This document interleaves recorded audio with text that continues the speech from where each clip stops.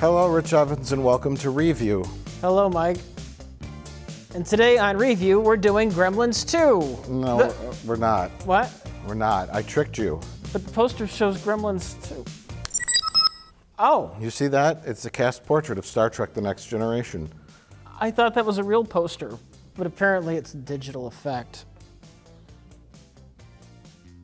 This is the first review for something that doesn't exist. Hit it, Johnny.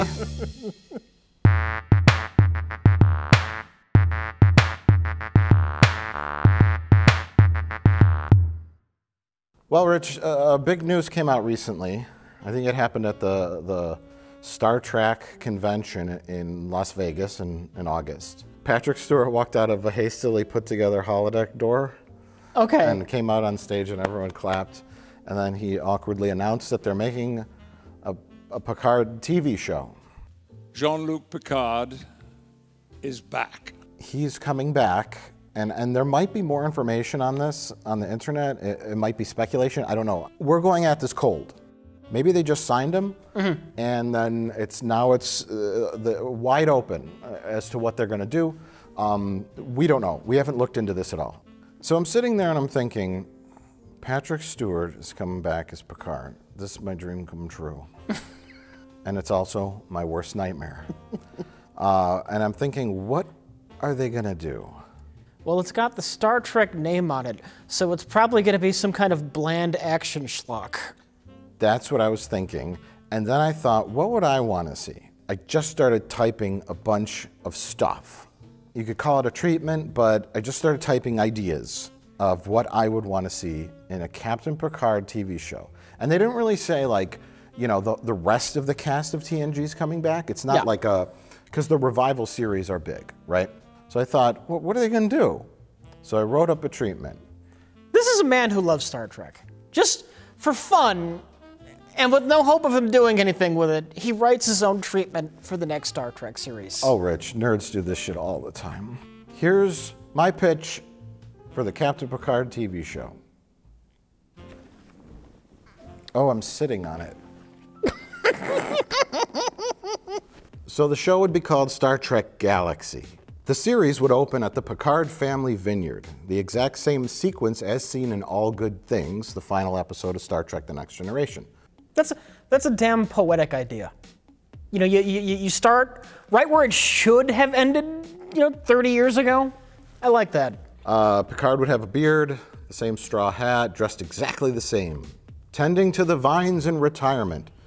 Except this time, he no longer has Irumodic syndrome. Maybe we could have some kind of fun line like, it was cured by some holographic doctor. Close to 25 years. 25 years. Time wise, it roughly matches up 20, 25 years, which would be neat because both actors have aged pretty close to how they look now. I'm talking about LeVar Burton and Patrick Stewart, of course. The premise would be a little different. It would mix both concepts of a fully crewed up starship just going about the day to day business of the Federation Good Morning, everyone. Good Morning, sir. What have we got today? with a series or season long story arc. So Geordi LaForge shows up to talk to now retired Admiral Picard about reinstating him for a brief mission. The famed USS Galaxy, the namesake for the ship class, had vanished at the end of the Dominion War and was listed MIA, has now mysteriously resurfaced somewhere strange. Side note, I have no idea what happened to this ship in canon. Currently, it's listed as active on the Star Trek Wikipedia, but who cares? Oh, yeah. The ship is crewless and drifting somewhere near the Gamma Quadrant, possibly near the territory of a new Federation enemy. Not that the 30 year old Federation technology would be much of a prize to any belligerent race, but the ship might hold some clues to what happened, and maybe even some of the crew are still on board. Geordi, along with his wife, Dr. Leah Brahms, and possibly their children, Alandra, Brett, and Sidney, all mentioned in All Good Things, are traveling to the derelict ship to investigate. Leah was the designer of the Enterprise D, and Geordi was, of course, the chief engineer, so they are essentially the experts on this type of ship. LaForge said he would feel more comfortable if an admiral was there to oversee the mission, as he's not a fan of the eager, reckless young captain they currently have leading the mission to recover the ship. Perhaps he's also a bit concerned with Picard. Maybe he's becoming more withdrawn after the death of his wife. Anyway, Along with a skeleton crew, possibly of cadets, they investigate this mystery, which ends up having far larger and more dangerous consequences for the Federation, of course. The barely working Galaxy class ship finds itself in a combat situation brought on by the young, inexperienced captain, which ultimately gets him killed. Picard is then forced to take command of the ship. Perhaps even the warp drive is so critically damaged that they can only travel at impulse through one dangerous situation after another. This would force Picard to use his tried and true diplomacy and wit to help them all survive and solve whatever mystery is at hand. As far as fan service and callbacks, fans love the Galaxy class ship. The main cast would be Picard, LaForge, and Brahms, along with newcomers and a skeleton crew. The whole mission would start as a dull recovery operation but turn into a season long adventure with a Starfleet legend, Picard. We're talking about the Captain Picard TV show. And Right. you have two options here. And this is, this is what got my brain going on this, right? Yeah. Because your two options are this Patrick Stewart is 78 years old. Yes. Option one, the Enterprise X, I don't know, is a new, super sleek, gigantic battleship. Yeah. We need a captain who has experience. Get a 78 year old man, you know what I mean? Uh-huh. Uh, the Klingons are starting another war. The world is changing.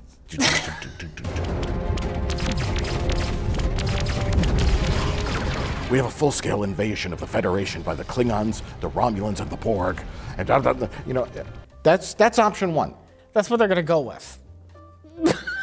But That's what we're That's not what we're talking about. We're talking about your fake Picard show that they're not going to make. I know they're not going to make it, but we could we could dream, can't we?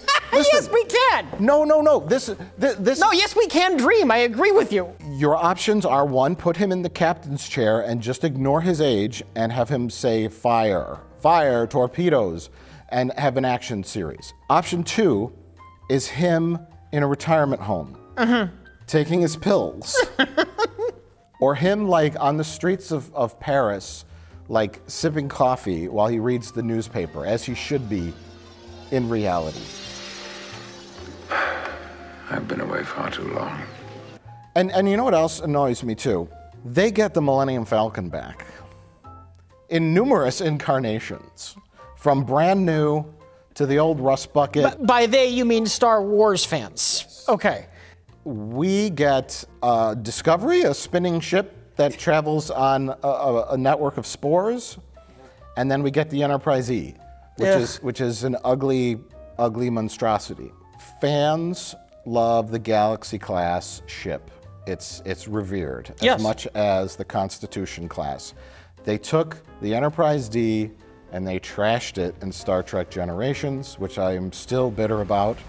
25 years later. Yeah.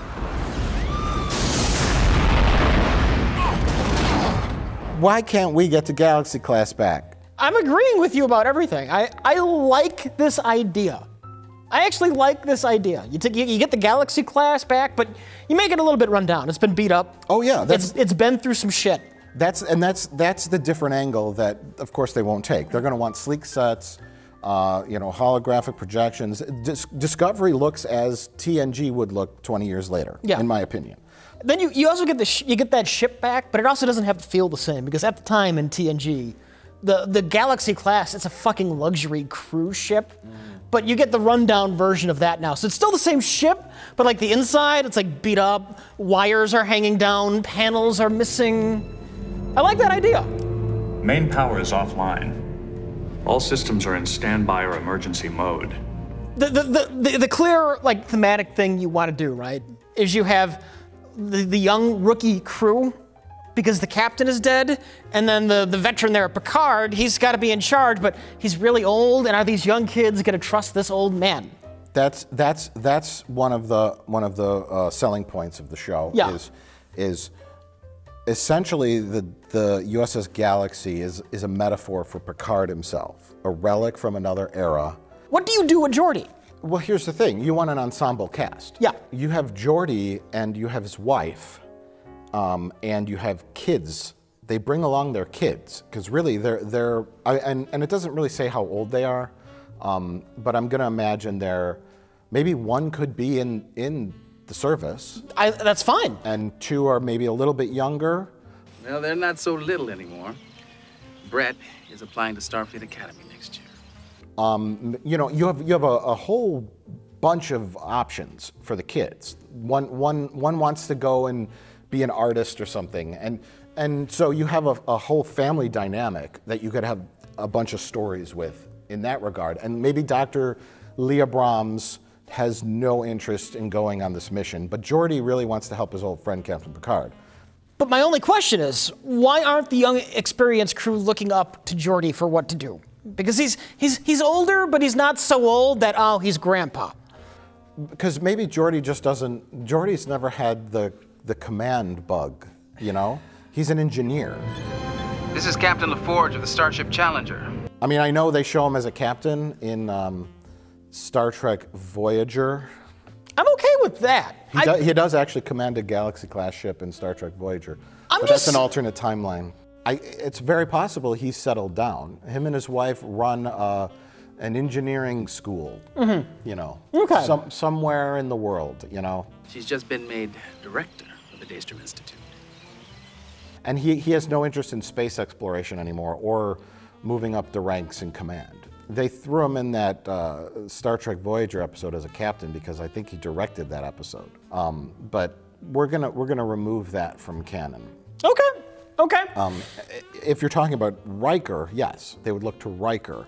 But Geordi and his wife are just going to be sort of like civilians on this trip, which is why they brought the initial commanding officer, who who is like, I want nothing to do with this. I want to. I also. He's a younger guy, kind of like the situation in Generations when it starts, when you have um, uh, Cameron from uh, Ferris Bueller's Day Off. I, th- I think if you're going to kill him off, you may as well make him Mr. Adult Man in charge, but then he's dead and it doesn't really matter. Sure. Yeah. Sure. But but the underlying reason is not just like Picard's experience and all that. Is that maybe there's some personal stuff going on with Picard. And you mentioned revisiting Irumodic syndrome.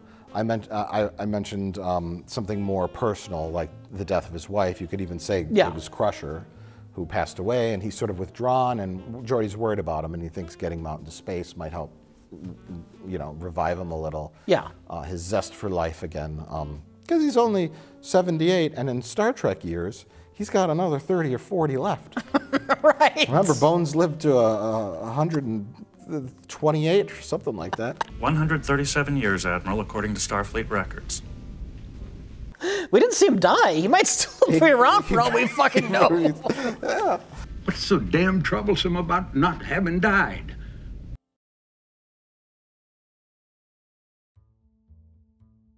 So after the USS Destroyer gets blown up, they all have to be on the Galaxy. I guess you have to have them on like the new slick ship at first. Everything's modern and super high tech. This ship can do anything. And then that has to get blown up. And then like the survivors, the skeleton crew, the younger kids, and Picard. they, they were like on the Galaxy at the time the disaster happened. We've, we've, the only ship we've got available to us, we made it here. We got to get on this old, broken down Galaxy class ship. What is the premise? If the idea is to find the galaxy and, and get on it, you don't want them to get stuck. Like, oh, we're stuck in the Gamma Quadrant on the USS Galaxy. We've got to take it back to the the Alpha Quadrant to the Federation because then you have the same premise as Voyager. Yeah. And then you have the logic of, well, if they found the ship, you know, just have a bunch of other ships warp there and tow it back. Mission over. You need some sort of thing that keeps them on board it mm-hmm. and keeps other people away from it, but also allows you to do standalone episodes and adventures. And so, so that's really the tough part. Is is why? What is the logic of keeping them all on the ship as this crew? Voyager, it's obvious. In the timeline, what is going on in Star Trek? The last thing that we saw In the Star Trek Online game, the cl- blah, blah, blah, blah. sorry, Yes, uh, that's that's a good note. Uh, your your bizarre outburst there brought up a good point. There's canon. Uh-huh. There's probably been a hundred books written. Captain Picard and during the Dominion War. Captain Picard after the Dominion War. Uh, it's the Star Trek Online game. Numerous things that probably may or may not be considered canon. Some things are Paramount. Some things are CBS. Don't know. All I know is the last time we saw Captain Picard was at the end of Star Trek Nemesis. where he was super depressed and everyone was super depressed. and that's how they ended Star Trek The Next Generation with everybody depressed. Totally better than All Good Things. I should have done this a long time ago. You are always welcome. And the sky's the limit.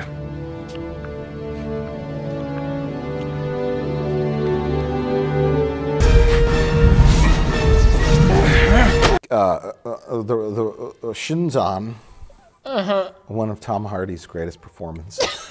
uh, Shinzon uh, betrayed everybody and went insane, and then the Romulans teamed up with Star Trek Enterprise E, and they blew it up Shinzon. And, and the Romulan lady said, perhaps, Captain Picard, this is a new day between, between the Federation and the Romulans. You've earned a friend in the Romulan Empire today, Captain. I hope the first of many. So you left with a glimmer of hope that perhaps the Romulans won't be so adversarial in, in the near future. But Mike, we learned in Star Trek 2009, written by Alex Kurtzman, I had to extract the red matter and shoot it into the supernova. that a, a supernova apparently blew up the entire Romulan Empire, which presumably spanned multiple star systems.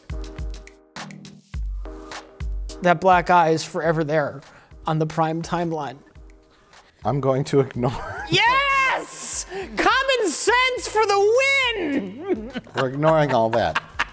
It seemed like the entirety of the Alpha Quadrant, towards the ending of Deep Space Nine, all got together and said, let's work together and stop the fucking Dominion. So to me, that would seem like perhaps we had a nice span of a few decades of galactic peace. Because you need, here's the, here's the one thing that isn't clearly defined here the, the season long arc. This is important. I'm curious what you got. I'm, I'm thinking, I mean, it's all very vague right now. Oh, but Oh, yeah. I'm thinking like you have this old ship, right? No more galaxy classes exist. Mm-hmm. This ship is unique, and perhaps it went somewhere. Like, kind of like, uh, what, what's that movie? Event Horizon? Yeah. It went somewhere bad, and it came back almost like a Trojan horse. like like like the Defiant from the original series. Here's I'm, I'm, I'm just coming up with this out of nowhere. Every every now and then, Star Trek mentions like civilizations that used to exist like thirty thousand years ago. Maybe you got one of those civilizations that got themselves caught in some kind of time anomaly, or maybe they were trapped by the other civilizations thirty thousand years ago in order to stop them by capturing them in some kind of time anomaly. But now, thirty thousand years later, that's starting to break down. Every now and then, the hole whatever pocket dimension they're stuck in opens up, and that's how the galaxy got stuck in there in the first place. And but that's that's breaking down, and these things are starting to get loose, right? And so then you can you can have the galaxy kind of like lost within these time anomalies, and that's why they can't just call for backup. They're popping in and out all over the place, maybe trying to find their way back. But you can have them going to different places and times. And that's when you can get different adventures. You could throw in an episode if they're popping around different times where we see the Galen planet before it gets destroyed. Maybe Picard gets to visit that planet. That would be neat. Okay, so instead of instead of distance like Voyager, Yeah. it's time. Yes. Right, Rich Evans. That's why you get paid the big bucks. to, to come up with story ideas for a show that will never exist. per, uh, but then, but it has to be the the ship itself that's causing the anomalies, or no? Or tied to it somehow. Whatever. You can pull any gobbledygook out of your ass. Well, I I mean, you need it to make sense. Yeah, yeah. The time that the galaxy exists in currently is being changed. Mm-hmm. You could even have an episode, because it's projected, I think, that in the far, far, far future, the Andromeda galaxy will eventually collide. Oh my god, that's a fucking awesome idea! That is a fucking awesome idea! like a big, a big star starts to appear. We see what happens to Starfleet in like a hundred thousand years. Are they still around? Well, yeah. I was thinking more of a, the, the physical change of the galaxy. Well, I'm just, that's. Yeah. I mean, that's like in a whole other episode too, though. I mean, you can do the episode with the Andromeda. You see Andromeda, then another episode where it's just we're hundred thousand years in the future. What what's what's happened to Starfleet? Because I'm picturing a giant star just appearing in the middle of, of some known civilization, some uh, some inhabited so, uh, star system. Jody, we need that warp drive. See, I'm thinking something like the the the galaxy uh, is sort of like the zipper, Mm-hmm. you know, that that's being that's pulling apart. Okay. and and they don't know it quite yet. Yeah. But eventually they do. That it's been it's been rigged to cr- to cascade these events. There has to be somebody in charge of this. Yeah. Uh, where an ancient ancient civilization was going to die, but they figured out a way to come back. Perhaps the galaxy like went through some kind of uh, time distortion and ended up there, and they, they used it as sort of like a Trojan horse, to, uh, as a, as a tool. Like they knew. I mean, it, it sounds a little extravagant, but you can you could you could whittle it down. You could whittle it down. There, if you and if you go if you like go into like the distant past of Star Trek, there's things you could revisit. You could dig out of the lore that would be fun to see. Yeah. You could. Uh, do you remember the first Frankie episode with the the ancient guardian of the planet? You could you could work him in somehow. The Empire is forever. Your empire fell prey to a supernova. Uh, do you remember like the, the the time portal from the original series?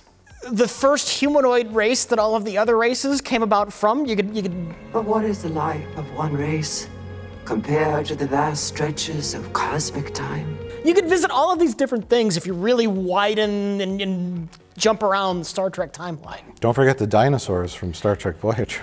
Oh yeah, I'd like to. So then you'd have to come up with these options like, why don't we just blow up the galaxy, USS Galaxy, you know? And that's, hey, there's a giant bow on this package. Yeah. Oh God, what is it? The, you, you said the, we're talking, we're sitting here talking the whole time about a galaxy-wide phenomenon. and what's the name of the fucking ship? Jesus Christ! Yeah. This is one message on the computer. The galaxy is unraveling. I know the ship's really falling apart. They don't get it yet. They don't get the message left behind by the old crew just yet. Right. They only got fragments. But yeah, so so you, you want strong characters. You have you have a, a, a crew of cadets. Bring Barkley on board.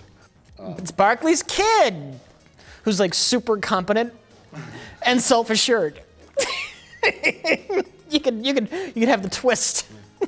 You, you shouldn't, shouldn't shouldn't you be worrying about that? He's too overconfident. He's headstrong. Yeah, pick, uh, there's a cadet on board. Uh, Sam Barkley. Oh no. That's oh, great. Admiral Picard, Sam Barkley, at your service. Yo, not what I expected. But uh, yeah, as far as characters go, see, that's why I kind of like the the three mains as Picard, Geordi, and Dr. Leah Brahms, because they're just like you don't want to dredge up everybody. You don't want to dredge up everybody, but I think for mains, it's you got to be Picard and Geordi, but you need at least one or two of the kids to be Oh yeah, a yeah, yeah. major character. No, no, no. I mean, yeah, you, you're looking at maybe seven or eight main Yeah. characters. Oh yeah, yeah, yeah. You, you bring up some of the, the cadets, the ones that have the best personality quirks or, or uh, skills. You know, obviously you'll you'll need a, an, an, a helmsman. You'll need um, there, might, there might even be like an engineering student that Geordi brings along Yeah. to teach. It'll be a great opportunity to learn about uh, how an old warp drive works.